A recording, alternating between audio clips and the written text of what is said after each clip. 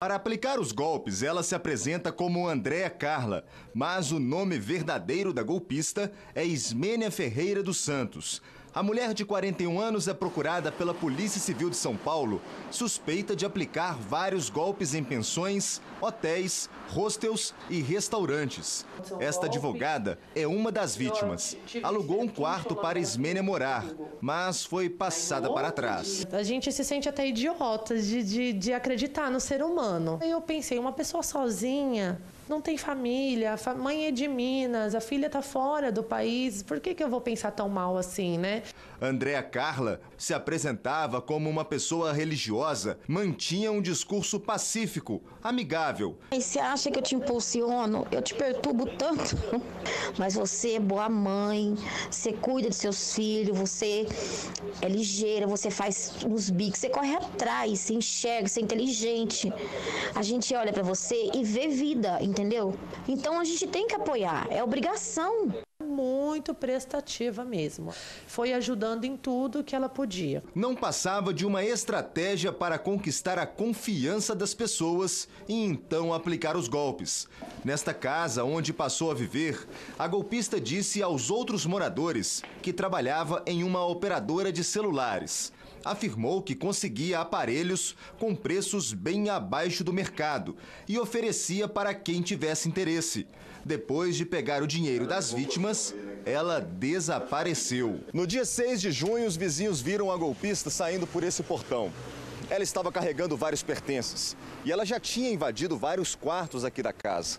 Ela colocou tudo num Fox preto que estava parado bem aqui na porta da garagem. Depois, os vizinhos viram o carro seguindo por esta direção. E a golpista nunca mais foi vista por aqui. Andréa Carla ou Ismênia Ferreira dos Santos é a mesma pessoa. Já aplicou golpes em Minas Gerais, São Paulo, Rio de Janeiro e Rio Grande do Sul.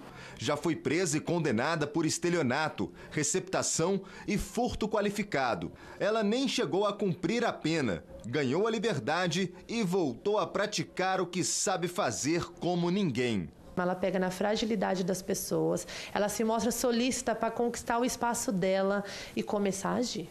Quem ver esta mulher na rua, cuidado. Ligue para a polícia. Ela é uma golpista contumaz de acordo com a Polícia Civil de São Paulo. Andréa Carla ou Ismênia Ferreira dos Santos é a mesma pessoa. Este estudante que saiu do Rio de Janeiro para estudar marketing em São Paulo foi mais uma vítima dela. Ela se fez muito de vítima.